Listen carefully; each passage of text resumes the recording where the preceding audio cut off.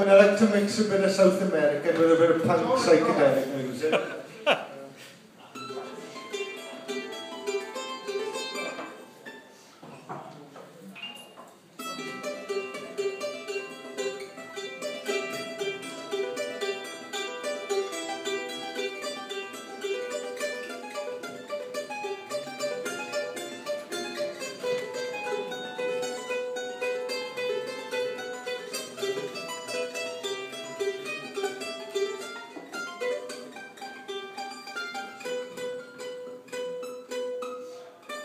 sorry with the mess.